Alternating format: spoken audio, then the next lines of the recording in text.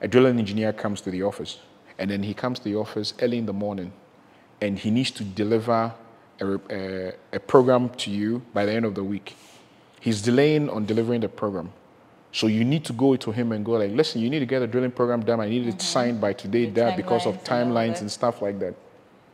But the guy is probably having marital issues at home. Mm-hmm. So he's he's lost his mind, he's not focused and stuff like that. So as a manager, you need to have a lot of emotional intelligence. Okay.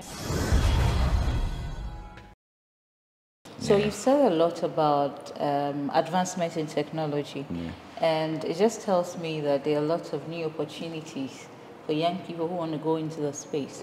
Because now you're talking about remote drilling and, and all that. What are some of the interesting things they can consider if they want to specialize in these corners? So what I would tell them is it's important to try as much as possible now in your career to have something to do or should know something about IT, information technology, oh. AI, artificial intelligence, large data, programming, and stuff like that. So we've the, the industry has advanced so much that right now so the drilling process i was telling you earlier on where you drill the conductor casing or uh, you jet the conductor casing you pull all the way up to surface and then now you have to ride. So when you are pulling up to surface it's not just pull one like a thread mm-hmm, mm-hmm. you has pull you be- break you pull you break it's because the drill pipe is joined together to get to that point. It's a lot of time. And time is money because all these rigs and all these things that you're using you pay by the day chartered and all they are chartered yeah? and you pay by the day. So the day is expensive. So anything that will save me a few hours or a day is very important and it's very welcome. So the oil industry encourages people to share their Lots of ideas and all that. Yes, and and, things like that. So now we have a technology where I can hook up my design in such a way that I can jet in the conductor casing, activate a tool, and drill ahead and drill my. So I can drill my conductor and my surface casing together. together. So after once after I've jetted the conductor and I allow it to soak Yeah. and it's good to go, I drill the surface. Also, as technology is developing now, there's so much done within a shorter period of a time. shorter period of time. Wow. Yeah. So a guy studying IT now can just um, specialize in some kind of programming that can create, I mean, um, solutions on the rig. Exactly. Right. So for before we do this, earlier on I was talking about the softwares we use to do all our well designs and stuff like that. So the likes of the Schlumbergers and the Halliburtons and the Bakers and all these other people have softwares that they've developed over the years mm-hmm. that allows us to do the work that we used to do initially on paper and handwrite and stuff like that. So what you need to do is if someone who is let's say a drilling engineer is very good with programming, Yeah. IT and stuff like that. He can come in, he understands what the drilling process is. He understands what we need, what we need to put together to simplify the process. So he can go in, program something, mm-hmm. and then give us a means or ways of cutting down, because for us, time is money. So if you can cut down the time, But we need to get something done. Is it for a pure IT person who is not an engineer per se to veer in there?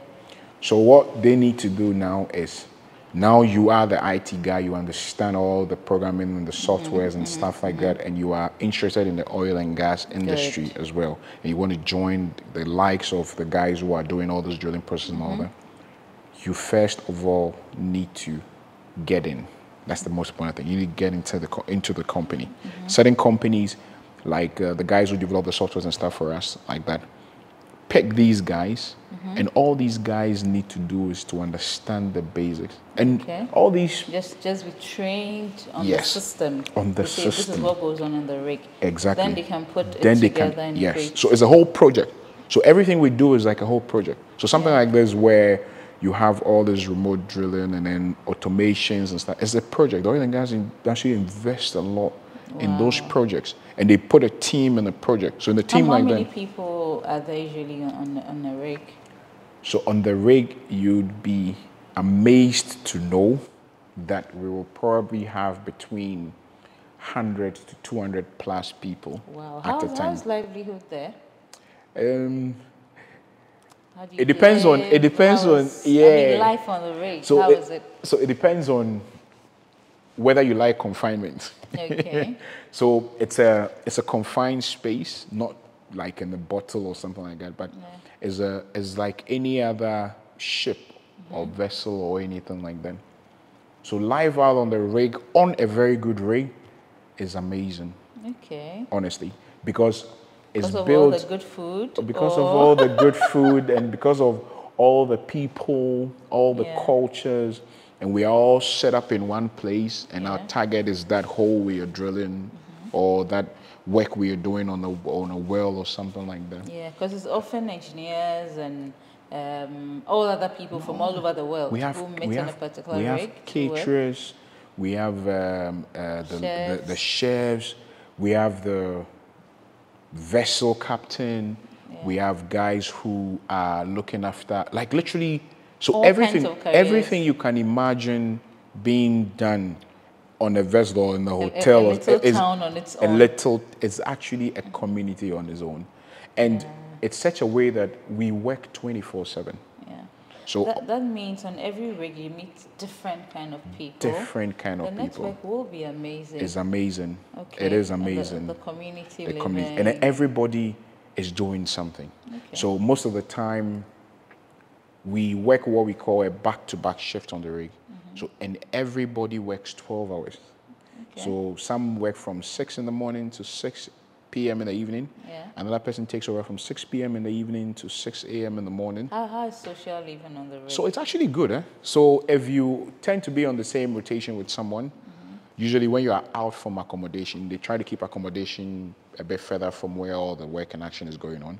So when you're in the accommodation after work, you interact with people. You actually bond better when you're on the rig because you get to spend a lot of time with people that on a normal day. After work, you go home. You drive. Maybe you are in Kasoa. You drive and go to your house in Kasoa. I'm probably at uh, Oyarifa. Drive and go to but Oyari 5. here you just meet right We are all there. So you make a lot of good friends, you form a lot of bonds. And the nice thing about it is because we have the cementing engineer, we have the mud engineer, we have the subsea engineer, we have the dynamic positioning guy who's the mm-hmm. DPO. The whole idea for the DPO is he's keeping the rig, his work is to make sure that everything that is functioning to keep the rig in location is good. It's, it's beautiful technology. Okay. So the DPO, like it keeps the rig at one station. So on the rig, you wouldn't feel like you're even on the sea. It's stable as you can have it, unless the weather is rough and stuff like that. What's what's the ratio of male to female there? Not too good, but it's improving. Uh, so hope I would, so. yeah, I would say maybe for, uh, without this is not fact. This is just basically what you see. Yeah. Maybe from a ratio of, for every ten guys, you see maybe one or two females. Oh dear. Yes. I, I, I hope it gets You know, it get, it get, it, So- it's so getting for better. 200 on there, you could have like 20 females, Yes, or less, plus or minus. Even minus. yes, plus or minus, yeah. Could be 10. Yes, and it's a mixture. So we have some as part of the catering crew, some of as the rig crew, Yeah. some as the engineers running the jobs Yeah. and things like that. So, everything is structured. Everything is structured out on the rig. Amazing. So you have the OIM, who's the offshore installation manager, who is for the vessel, Mm-hmm. and you have what we usually call the company man. So the company man is the representation of the drilling, or, or sorry, the company, like the Tullows, the ENIs, the Exxons, the Shells. So he's the one who looks after all the operation that goes on on the rig, representing the company. And then we have the OIM. So the OIM has his crew. So they have the drilling crew, they have the subsea crew, they have the maintenance crew, they have the electrical guys, they have the guys who keep the engines life, running. Life on the rig is It's, massive. it's amazing. This It's is amazing. We have everything you So can you imagine out there. Anything you find on land, yes. You will it's find right it out there. there. Yes, it's amazing. That's and we beautiful. we try and entertain ourselves as well. Okay, so you have parties on So, there. why not parties? We Parties have, is a um, bit wild. Yeah, I mean, parties are a bit social yeah. No, it's social. So I remember sometimes when I'm on the rig, when I used to be on the rig back in the days, Yeah. after work, the guys would meet up together, play video game. I still like to play my video games. Oh. Yeah, we Oh, interact, okay. chit chat. You get to know people. You get to you get to meet people you've never met before. Yeah. And sometimes, as time goes on, it gets a bit Wherever in the world. wherever in the world. You want Indians, you find them there. You want Pakistanians, Pakistanians, you find them there. You want uh, uh, whatever Cameroonians, you find them there. There's everywhere, and it's, a, it's such a global industry. Has it helped you to get more social or otherwise? I think yes. So if you want to be isolated, you can be. If you want to be social, you can be. Because you work 12 hours. After 12 hours, you can go into your rooms, and the rooms are beautiful. Even though the beds are small, the rooms are beautiful. You and the rooms Like are so quiet. hotels. Yes, it's like a cutie hotel. By the time you come back, it's all nicely cleaned and everything, all good to ah. go. Yeah, it's, Yeah. it's, it's, Yeah, life so is good out there. are also there. Everybody. Every kind of career. Every you can't kind of- your space on the rig. Yes. You always talk about this on Energy Quest that every kind of career does have a space in the oil industry. Yes. So I'm, I'm, I'm, I'm very happy you've raised No, it is. part. It is. Yeah. They do. They do. Everyone. The only not too downside, but the only trick about it is the industry doesn't take too many. Yeah, of course. Exactly. It's not too many people. Mm-hmm. So you usually, like, let's say on the rig, you might have a day drilling supervisor, a night drilling supervisor, a day completion engineer, a day, a night completion engineer Yeah. or and then you probably maybe have an assistants and stuff like that. So certain roles are just limited. Which kind of roles handle the environmental protection issues? So these are EHS guys. So our health safety officers. So what we tend to do is the company tends to have one, and then the rig also tends to have one. Is it prioritized? It's more than prioritized. Okay. It's so key. And every day before, so what we do is we communicate with the rig every day.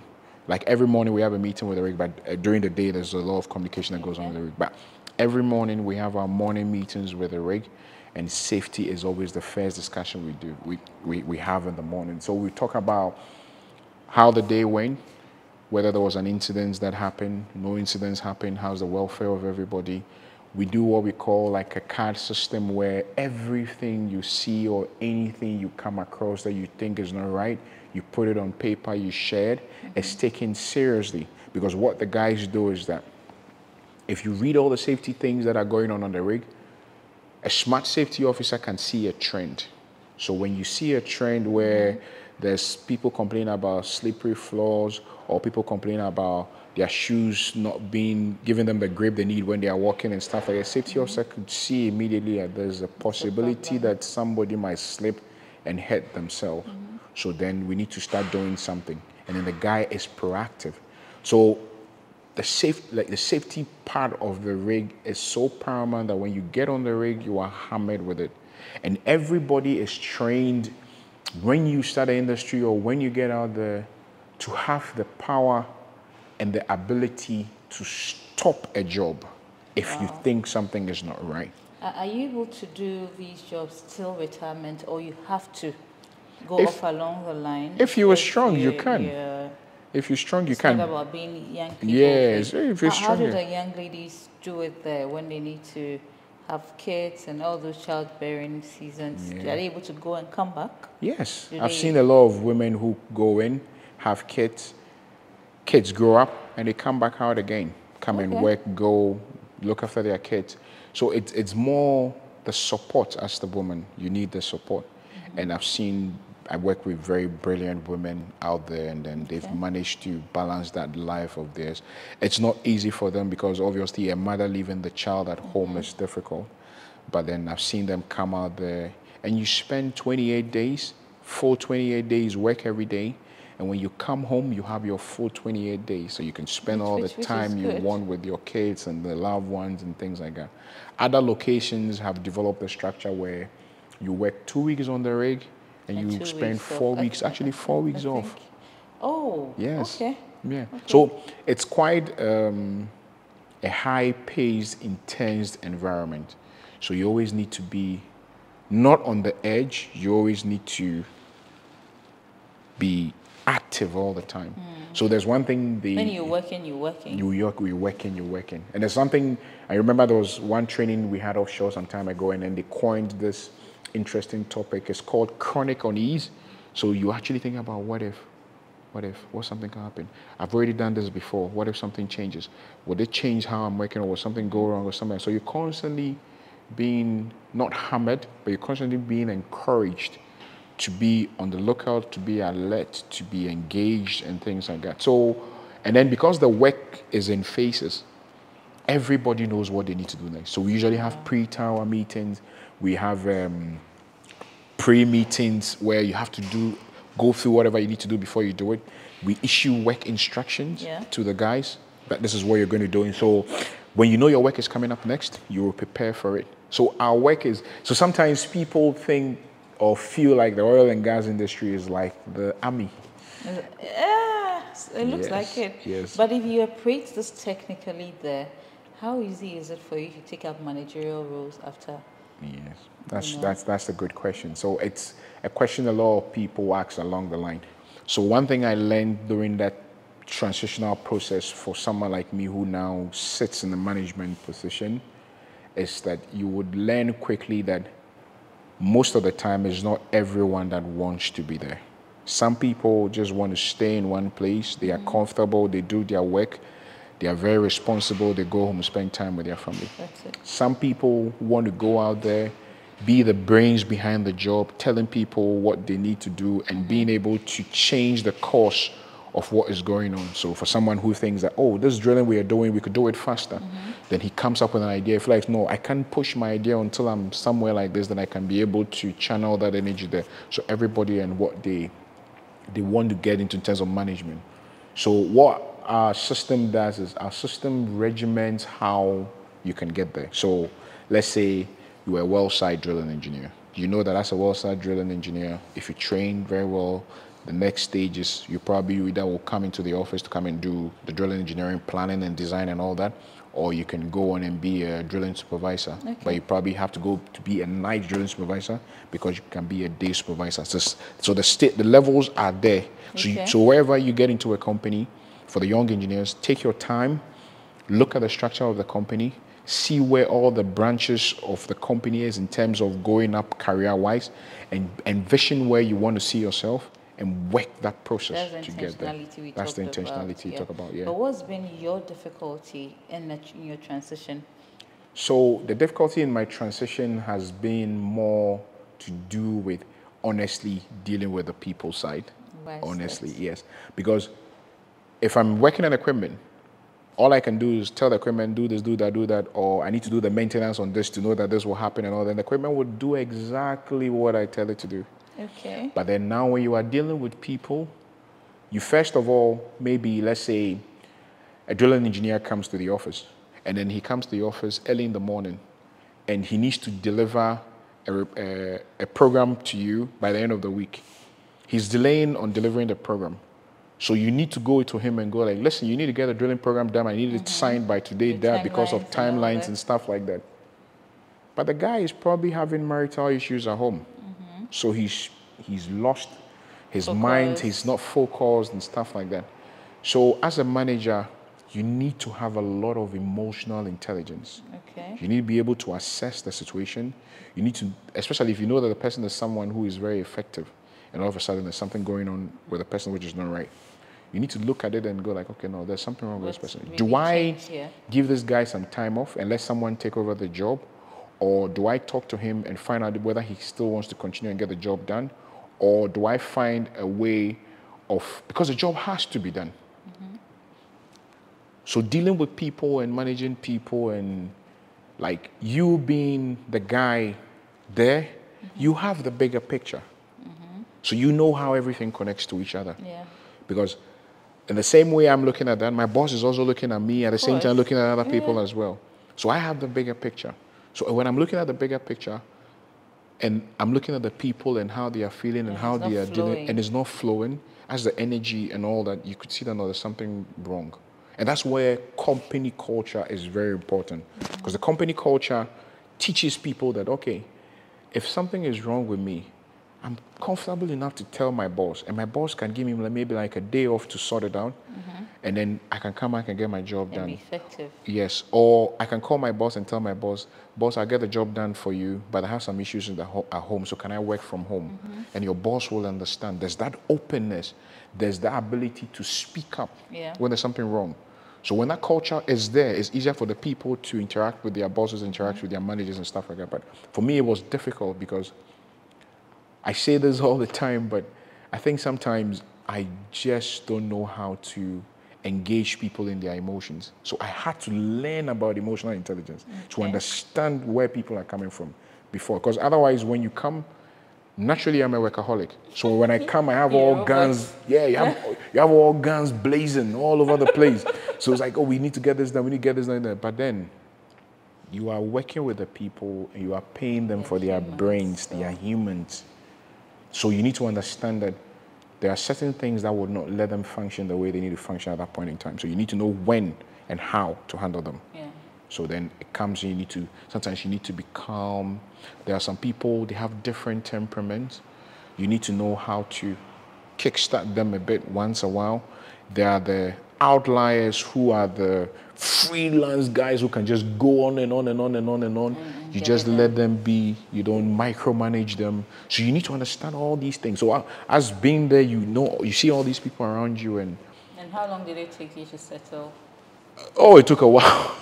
it took a while because I was in a leadership position in in Expro before I left, and now coming to Tullow and then starting again from scratch and then getting to that point. It was also a transition, and then now being where I am, it took a lot. And every day I think I learn because I still won't say struggle. I still find it weird when people cannot understand certain things, and yeah. So it's like, why are you Can't not? just get this? Yeah, but then you need to understand that that is where you come in. Because the difference is you will be amazed to know that most people you look after, you are not their, they are just their manager, you are not just their leader, you are like the person they look up to. So they are like, some of them are like kids. Whatever you do, they watch and they see. So if you get into an office and as a manager, the cleaner cannot walk up to you, the young engineer cannot walk up to you, or the senior engineer cannot walk up to you freely Yeah. and talk to you about stuff, then there's a problem. Because there are so many things that you see that when you start working with people and you treat them well, you manage them well, they work for you. They will do things for you that will amaze you. You don't need to even call them. Like, oh, boss, Yeah, you, that's this when the team spirit works. Exactly. So in my case like this, I have an amazing boss who is pretty good in how he manages people and how he gets peop the best out of people. And it's the same with his boss. His boss. So there's there's that culture triggers triggers down. down. You get it. So we work in an environment where, if you come, for instance, to my team, I think we are more of a family than we are colleagues. That's really good. Yes. And we look after each other. And I tell people who work in certain environments to learn that because you spend most of your young life and your In your prime years in the workspace. workspace. You have to be happy there. Sometimes people tell you, oh, you need to love what you do to sometimes you could be doing what you're doing just to get by and make money. But when the family sense is there, you would enjoy being there. And honestly, you will Being there for function so you will function like Better. better. Because it's not everybody that wants to be a manager.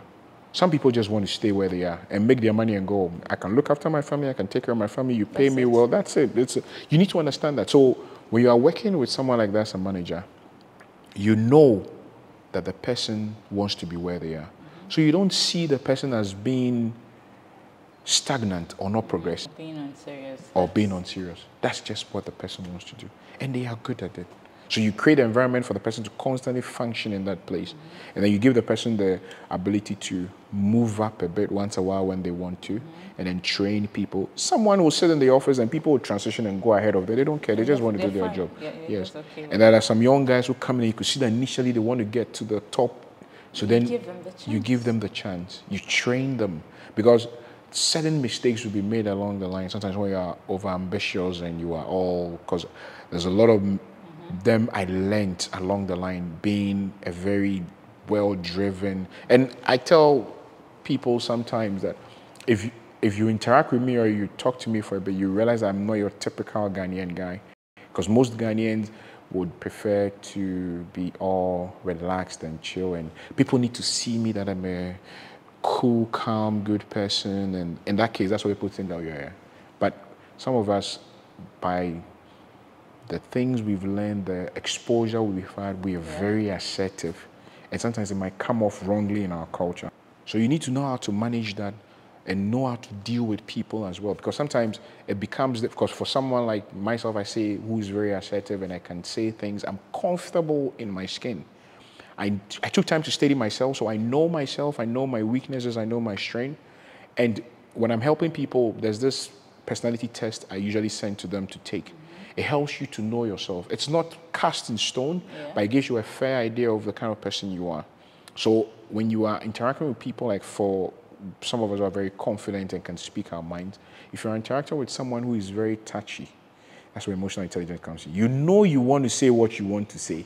And you need to know how you communicate. How you communicate is very important. Mm. So you need to know how that all that works, and that's one of the most not difficult but tricky waters being in a leadership position. Very, very careful because you have all sort of people looking up to you, all sort of them looking up to you. I think this has been very informative. I've, I've enjoyed this conversation very, very much because it's taught me and it's taught my viewers a lot on the technical aspects that we always wonder about. And then also we have learned so much on things we have to do in order to have a good footing in management. You also learned about entry and the opportunities that are derived from school. So I think all in all, it's been an amazing conversation. But in conclusion, just tell my viewers what what you have for us and what what will be your last words as far as the opportunities in here are concerned, considering that there's a lot of advancements now. And then new, I mean, new corners are opening. So, mm. what, what, what, what would you tell my viewers? So basically, for the people who want to come in, or even the people who are in, or people who are transitioning across different stages of their career, or want to come into the energy sector or the oil and gas industry and all that, it's important that your mindset is right. You need to know what you want first. You need to know what you want out of it. And you need to know how the work you're going to be doing is going to be impacting the lives that you're going to be working with. So it's important that you understand what you're getting yourself into. The oil industry is, is, is unforgiving of certain things, but it's a brilliant place to work. So if you're going to decide to come into the industry or you're going to want to be in it or already in it and you're finding it difficult and all that, just know that it gets better with time. Okay. That's where experience comes in. So as time goes on, don't be afraid to express yourself. Don't be afraid to give off your best. Don't be afraid to make those mistakes. And that's where it's important to have people who guide you, people who are there to hold your hand when the need be. And in that case, you can make the transition and you can make the journey worth the while. And guys, it's not just petroleum engineers that work in the oil and gas industry. We have electrical engineers, we have mechanical engineers, we have computer engineers, we have civil engineers, we have chemical engineers, but even petrochemical engineers. Even we have all outside engineering. House, lines. yes, yes. So it's important that you talk to the likes of us or people already in the industry to try and understand all the branches of the industry that are there and then how to get in. And then we'll give you the opportunity or how we, we let you understand how you can do that and all that. But the industry is, is a brilliant place to work. It's exciting for the travels because you get to see the world as well. And then you get to meet all sort of people, people you never normally meet in your, your life as you go on. And then you also get to live the life that you want by getting paid well as well. So it's very Mm, the important. yeah, it's the juicy part. Obviously, you are paid for your brains. The companies are not running a charity organization. They are paying you you for your brain. for. You work for And it. and you well, are you're paid for paid. it. Yes. But at the end of the day, my last words will be enjoy what you do. Love what you do. It's amazing. I say this everywhere I go. I never work a day in my life. I enjoy what I do. It's when I tell people after my time off that I miss going back, to, I miss work, and I, I'm, I'm excited going back to work. Mm-hmm. Like I'm getting back to work. Like how do you know? You're all the difference. No, it's not. Just enjoy what you do. Honestly, enjoy what you do, and don't be concerned about the money at the early stages. It will come because if you develop yourself and your brain is more advanced, the company would pay for that advancement in your brain and what you can deliver.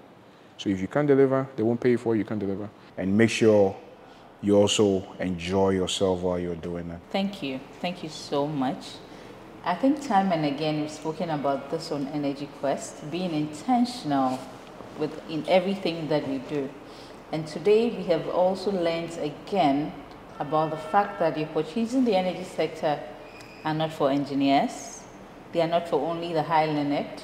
It's for every kind of person because he's, he's opened our mind to the fact that the rigs have everybody on there, chefs on there, there are cleaners on there, there are types of engineers on there, are geologists. Yes. Every kind of person is on there. That's a whole town and a whole community on its own. So you have an opportunity on there and I do too. And yes, today we have learned well what actually happens on the rig.